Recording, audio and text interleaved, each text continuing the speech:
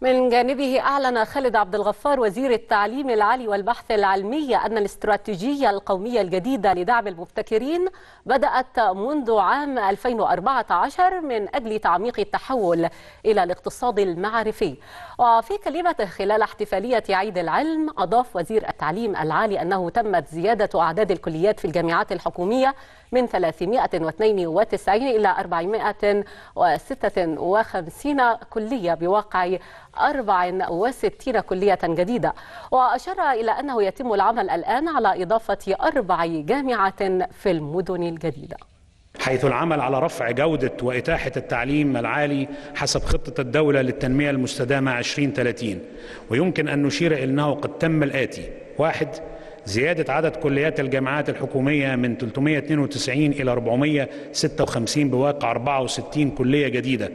وإضافة جامعة جديدة باستثمارات قدرها حوالي 9 مليارات جنيه.